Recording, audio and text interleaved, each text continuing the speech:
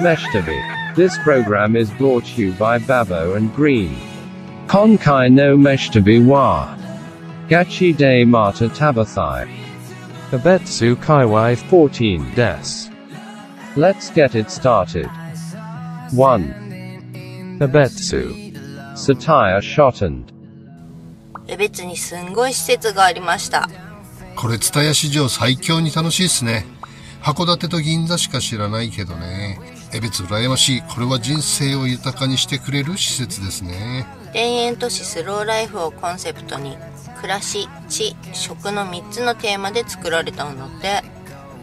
全5棟で構成されていて、各棟に暮らし、地、食とコンセプトが記されてるの。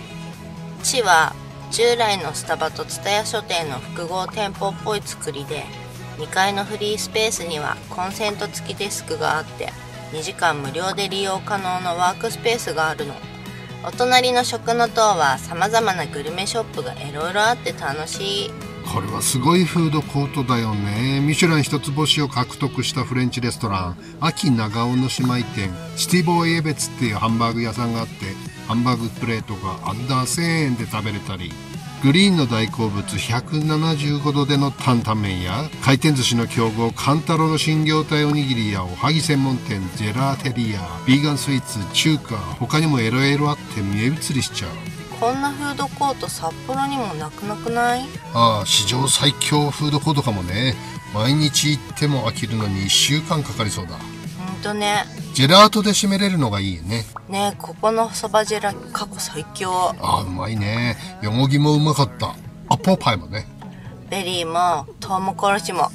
殺しちゃいかん殺しちゃ。2. 野幌。日本茶甘味処あずき。 寿司も甘味も味わえるという異色のお店。わらび餅がかなり美味しいらしいという噂を聞きつけ素通りはできませんね。ね山形で腰掛けあんのわらび餅を食べてから急激にわらび餅に興味が湧いちゃった飯旅。ーズシュークリームが大好きですが日本の伝統文化もしっかりと後世に伝えていきたいですからね。はい楽しみにしていました。開店時間にはマダムたちの行列でしたね大将は謙虚にめったに並ぶことなんかないんだけどねとおっしゃってましたよ。すごい100%女子よ。よかったわね。ギャルに囲まれ緊張気味のおじさんでございます。立派な寿司ランチからいただきます。これリズナブすぎじゃない？ネタよしシャリよし厚みきよし。甘味のために余力を残す絶妙な量がいいわね。なるほどね。その分安めの設定なんだねきっと。ありがてえ抹茶白玉あんみつはもはや芸術。さじを入れるのがもったいなくなる美しさ。お味もええどすね。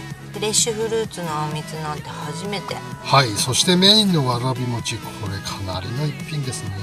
お土産に買いたくなる名品だね。北海道ではここが一番かな。マダムたちが押し寄せるのも納得のお店ですね。3. Nopalo. Tehuchi Soba Wakatake. 江別で人気のお蕎麦屋さん。11時から15時のショート4時間勝負のお店。ふんふん。期待が高まりますね。数時間勝負の店にまずい店はねってね。はい。こちらはやぶとさらしなの2種類が選べます。おもしかしてそれは。残念。西森はありませんでした。なかなかやってるとこないんだね。ね。若竹は蘭越産のそば粉につなぎは江別産小麦を使用野菜も道産にこだわってるんだそうよ。それでいてお値段がリーズナブル。地産地消いいですね。またリーズナブル加減がありがたいじゃないの。しっかり冷水で締まったお蕎麦。細打ち好きにはたまりませんです。つけ汁も甘すぎず辛すぎず絶妙なバランス。好きです。ほう。蕎麦湯はサラッサラ系なんだけど蕎麦の香りがすんごいするのこれはこれで好きだな。室蘭焼き鳥せいろって何なの？でしょ？気になるよね。この木何の木気になる気になる木 調べたけどわからんかった。室蘭焼き鳥丼セットを希望します。ああいいそれ。4. Nishi Nopalo. La Forqueta. ノッポル中心から5分10分でこの景色いやいいですねニセコ美瑛系の出てるじゃあござんせんか10分ドライブでこんなカントリースタイルレストラン羨羨ましい限りです。ここはリーズナブルにイタリアンがいただけるお店。あの、一応、おしゃれっぽいお店だったから、靴履きました。久々に。そうね。6月からサンダル、ノー靴下で過ごしてたもんね。ここはプリフィックスランチスタイルのランチよ。基本1350円で、チョイスナブルな献立によって値段が変動するの。おじさんはベーシック1350円。私はすべてオプションを選択して、トータル2000円ちょっとかしら。日曜日ってのもあり、予約は我々のみで満席。11時半から14時までのお店なので、週末は予約必須のようですな。お店裏の畑で野菜やハーブを作ってるみたいね。素敵。他のテーブルから、お任せのデザートって何？っていう夢のない質問が。お任せはお任せだろうがってすかさず小声で突っ込むグリーン。ダメでしょ？あの聞き方。パワハラ上司を着たあの人。これこれどうどう？せっかくの美味しい料理楽しんでここの料理はいい意味で必要以上の味を加えないナチュラルさがいいですね素材の美味しさを組み合わせで楽しませていただける、そんな工夫が感じられました。ゆっくりと時が流れる11時半ポールポジションで入店しましたが食べ終わったら13時を回ってましたねラーメンのサンデーランチも悪くないけど、女子はこういう方が好き。ですよね 5. Oasa. Panya Sora. 大朝東刈木線ラーメン銀パロさんの創業本店隣でございまする。かわいいカントリースタイルのパン屋さん。クロワッサンやデニッシュ系が面白いよねパイじゃなくてパン寄りの生地なのに綺麗に1枚ずつめくれんのあれおもろいめくれるて、スカートか。いろいろ美味しいパン屋さんなんですが、おじさんのお気に入りはこれ。ポンデケージョ1個50円。シンプルなチーズパンなんだけど、永遠に食べ続けられる、これ。ファミマの一口持ち食感チーズの超うま版ね。あなたこれ好きよね。はい。近所にあったら10個ずつ買いに来るよ。ポンデケージョはブラジルのミナスジェライス州で生み出されたパンの一種で、18世紀にはすでに存在していたそうな。名前はポルトガル語でチーズパン。日本ではそのままチーズパンと呼ばれています。へえ、ブラジル出身のパンなんだこれ。ミスドにポンデリングってあったよね。なんか関係あんのかなミスドのポンデリングはポンデケージョにちなんでネーミングされたそうだよ。なんでちなんだか知らんけどね。そうね、共通点はもっちりくらいかしらだけど、ポンデリングは業績が悪化していたミスタードーナツが復活するきっかけとなったヒット商品なんだよ。醤油味は不評ですぐ配信だったけどね。醤油味のドーナツってどうなってんの？Onsen information. 北の玉浦市場最強が江別にありました。札幌市内でも玉浦さんはちょいちょいね。はい。ただ混みすぎててね、早朝ぐらいしかくつろげないんだよね、玉浦さん。市内はね。広くてゆったり天然温泉。何より13度台の水風呂がええですね。空いてて13度だと30秒は入ってられないな。20秒ぐらいが限界ですね。真昼尊敬するわ。ねえ、女湯は誰も水風呂入ってなかったよ。いい水風呂なしのサウナなんて考えられへん。ね、貸し切りよ貸し切り。もう最高。は整っちゃうね。い、整っちゃいました。6. Oasa. Big Forest. 年季の入ったログハウス。カナディアンハンターが住んでそう。2階席が楽しい感じだね。こういう楽しい秘密基地的なお店って最近ないわよね。ね、こういうの好きだね。秘密基地チック。いいね。ハンバーグすごくない？これ。ビッグさに驚き。そしてナツメグが強めで美味しい。大好物の感じの感じ。このサイズで1250円はなかなかのブル中の。えー、これブルのかないける 7. Abetsu. Chioji Ya. こちら、千代地屋さんは手作り、防腐剤不使用、添加剤不使用にこだわる大福餅専門店です。うわあ大福大好きおじさんにはたまらないお店ですね。下調べで食べるのを絞ろうとしても8個から減らせないんだ。いや、8個はやりすぎよね。はい、結果結構売り切れてて4個になっちゃいました。人気のようでしたね。ね、でも変えてよかった。ザ、餅よ、ザ餅。これが大福よ。焼いて食べたい、これ。昔おばあちゃんが作ってくれたやつ大好きこれ。最近の柔らかい大福とは随分印象が違うよね。これぞナチュラル大福でしょうかね。歯ごたえがあって注意。注意？chewy, 喉詰まりに注意ってこと？まあそれも注意だけどチューインガムの注意さ。chewing, 噛む必要があるってこと。チューイングって噛むって意味なんだ。キスのチューじゃないんだね。間違ってんの？まあ餅を喉に詰まらせて窒息する死亡者は年間1000人以上らしいからね。縄殺しよりよっぽど怖いんだ。注意が必要だね。えー、それじゃあチーワクの方が危険ってこと？8, abetsu, hana akali, 遅くまで空いてるのが嬉しいうどん屋さん。地元の方々で閉店間際までいっぱいでしたね。リーズナボーなセットがいろいろあっていいですねついつい夜なのに天丼セットに手を出してしまった。うわーすっげえな尊敬する。こんな私じゃなかったのに。ここのうどんもっちりつるつるの好きなタイプです。優しいかつおだしも美味しいししょっぱくもなく物足りなくもない最高のやつでしたねこれ。このゴールデンだしフォーエバー飲み続けられるやつです。あったかうどんが食べたい季節になったのはちょいと寂しいけど。いやあなた真夏でもあったかいの食べてる 9, nopolo, bravo papa, 10代の時に出会いたかったお店です。懐かしいラインナップの洋食屋さん。ドリアを食べたの何十年ぶりかな。たっぷりソースが濃くないのがいいですね。安心して通える優しいお味。江別住民の方々で賑わっておりました。それにしてもまさか一人営業とはびっくりですパパ平日の夜だけ一人営業してるんですって言ってたよ。信じられない。ねえ手伝いたかったわマジ。でうん。このオムライス最高だぜ。デミもさらっとしたシャバ系飲めるオムライスだこれ。こんな軽いデミがかつてあったでしょうか。飲める？石塚パイセン？飲める。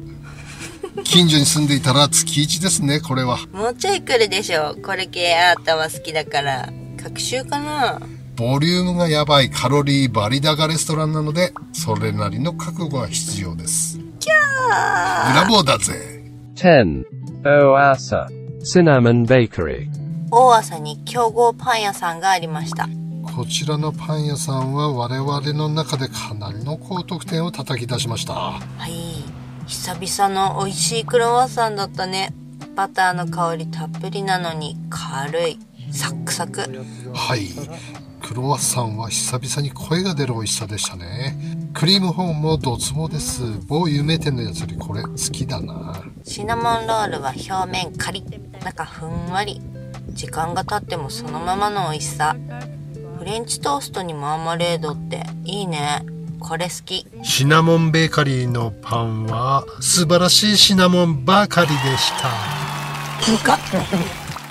golf information, はい江別方面の原服はこちらひょっとするとここ日本一安いかもですね。えマジ？こんな札幌に近いのに？だのさ、だって30球100円でしょ ?1 球3.3円。特訓はここに限るね。500球打ち込みだ。500打っても1700円って500も打ったことねえし100球もめったに打たんね。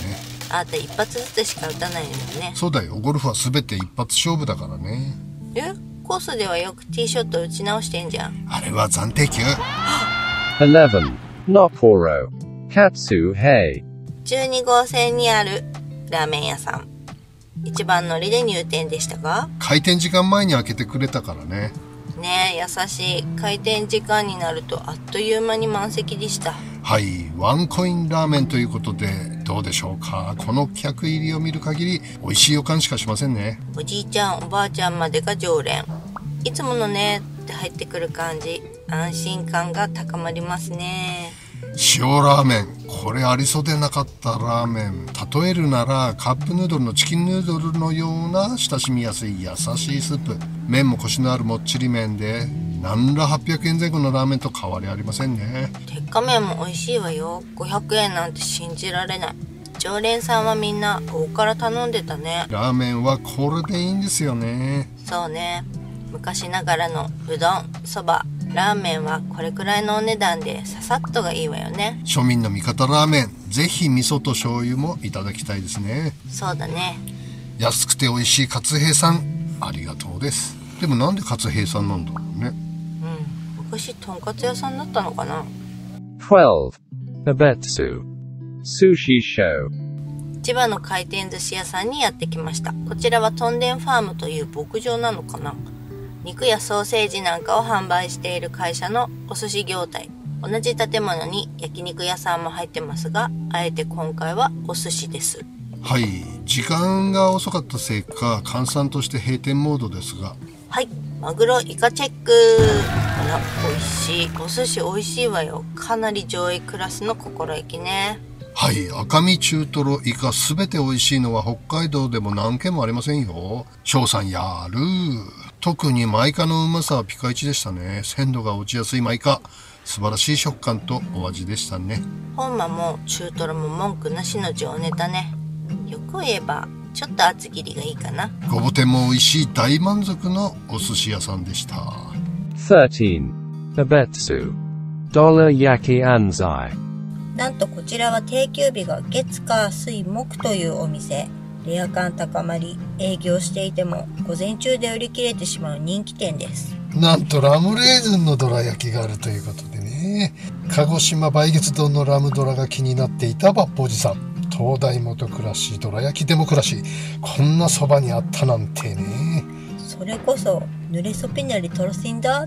よね。濡れそぴねりとろしんだ。なんで韓国語で言う？目から生ハム。うんそれやイタリア。日本語で言って。目から鱗。今までなぜ誰もやらなかったの？ってドラよね。ああでも油断しましたね。まさかの買いそびれ先週金曜日昼過ぎに来たんだけどね。チーン。品切れ閉店でね。1週間待ちました。やっと帰ると思った矢先。事件です。事件です。なんとお目当てのラムドラは季節限定ということで残念ながらありませんでした。はリサーチ不足ね。チーン。い残念だったね。でもアンコロネもリンゴドラも美味しかったじゃないか。11月リリースのラムドラまた買いに来ようぜ。ねしっとりふわっとパンケーキのようなどら焼き。これ美味しい。これ来るね。来るね。きっと来る。きっと来る。14. Abetsu. Mikazuki Terrace. 秋長尾の新業態フレンチレストランということでお邪魔しました。蔦屋書店内でここだけ別スペースになってるんだね。そうそう店内は大きい窓から太陽をさんさんと浴びることができて森林浴気分ゆったり空間が素敵。同じ建物内でここだけ雰囲気違うね。オシャンテーだわ。ランチコースもありますが単品でも OK ということで本日のパスタをいただきました。見てみてこの鮮やかなグリーングリーン。体にいいって感じするでしょう。すんごい最近バジってるよね。まあエビ吉グリーンだからエビバジ頼むに決まってるけどね千葉農家さんのバジルをこれでもかって使ってるの。香りがすんごいの。たまらんこれ。ほんとジェノバジってすげえソースだよな。これを考えたやつの面を見てみたいわ。なんか日本語の使い方間違ってるわよね。ジェノベーゼといえば鮮やかなグリーンカラーが印象ですが本場イタリアではグリーンではなく茶色いソースをジェノベーゼと言います。なんですと？日本で主流となったグリーンのジェノベーゼはペストジェノベーゼと呼ばれバジルをメインに材料として作られるのが特徴のいわば変わり種ジェノベーゼの一種。一方イタリアでのジェノベーゼは玉ねぎや人参セロリなどの野菜を使うもののバジルを使用せず牛肉で茶色く仕上がるソースなんです。いやーそれって外国人が漢字に憧れて水道とか七輪とかってタトゥー入れちゃったみたいな感じ？どういう会社なんですか？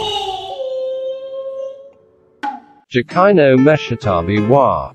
Gachi de Mata Tabathai.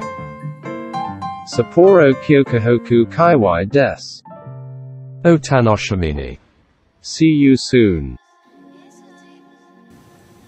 20代の頃かなあれど大浜っていう海水浴場がありますよね札幌から一番近いはいはい今はドリームビーチと呼ばれてますが当時は大浜海水浴場でね泳いでたんですよ夏。昔は今より全然賑わってたと思うんだけどね、さぷかぷかぷかぷかね、こうスポンジみたいなのが浮いてたんですよ。目の前をこれ何かなと思って手に取ってこうやって見たら、うん。どうやらあの、ブラジャーのあ水着の中に入ってるパッドみたいなやつ、なんでこんなもんが浮いてんのかなと思ってふっと辺りを見回したら、すごい可愛い子が 真っ赤な顔してこうやって胸を隠してこっちを見てたっていう。おじさんもまだ若くてイケてた頃だからね。なるほど。はい。キュンだったねあの時ね。可愛かったなあの子。どうやってその恋が終わったかはっきり覚えてないけど。付き合ったの？それきっかけで？あまりにも可愛かったからナンパしたんだよね多分。多分って。どうしてるかなあの子。おばさんになっちゃってんだろうな。30年前でしょ。当たり前じゃん。ですよね。思い出の中にしまっとこキュンなるね。うん私もキュンなりたい。久しぶり。に